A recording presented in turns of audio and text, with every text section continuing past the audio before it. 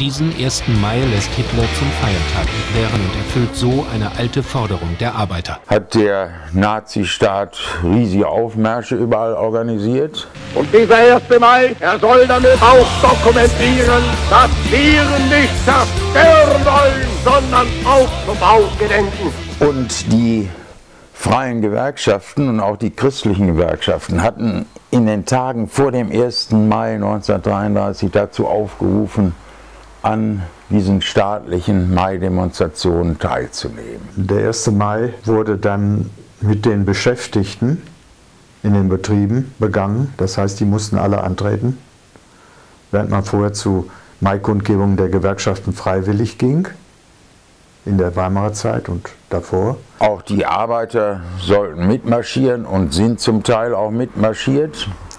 Und der 1. Mai, der war ja früher Kampftag der internationalen Arbeiterbewegung, auch der internationalen Gewerkschaften, die selbstständig für ihre Forderungen eintrat. Der wurde nun von den Nazis erklärt zum Tag der nationalen Arbeit. Also nichts mehr mit international, sondern Tag der nationalen Arbeit, so als riesige Propagandaaktion natürlich für den gerade etablierten Hitlerstaat. Was man oft vergisst, ist, der 1. Mai war bis 1933 zwar der sozusagen Demonstrationskampf und auch irgendwie Feiertag der Arbeiterbewegung, aber war nicht etwa staatlicher Feiertag, sondern man musste sich sozusagen das Recht nehmen, am 1. Mai teilzunehmen als Arbeiter. Und die Nazis hatten ja daraus einen staatlichen Feiertag gemacht. Zum ersten Mal war der 1. Mai staatlicher Feiertag und die Betriebe mussten dicht machen. Die haben also vieles so aus der Tradition der Arbeiterbewegung so an sich gezogen und im politischen Inhalt umgedreht.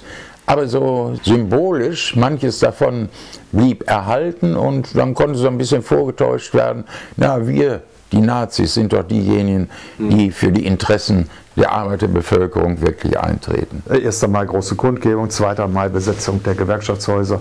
Ach, es wird schon nicht so schlimm werden. Und wenn wir uns nur eben richtig anpassen und wenn wir ein gewisses Maß an Wohlwollen zeigen, dass wir eben dann auch unter einem Regierungswechsel so geduldet werden. Dass es da auch bei den Gewerkschaftsführungen Illusionen gab. Die glaubten tatsächlich, die Idee retten zu können, wenn sie mit den Nazis paktierten und haben am nächsten Tag die Quittung bekommen. Wer sich nicht wehrt, der lebt verkehrt.